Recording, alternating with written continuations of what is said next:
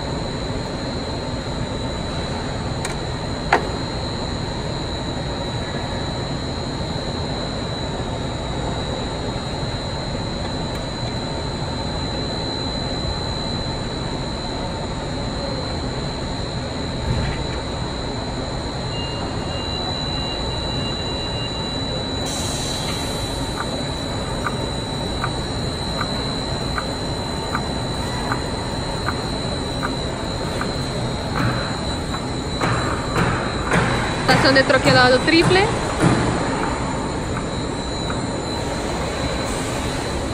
Y ahora vamos a sacar el desperdicio, el refilado, para rebobinar en el rebobinador de desperdicio con compactador.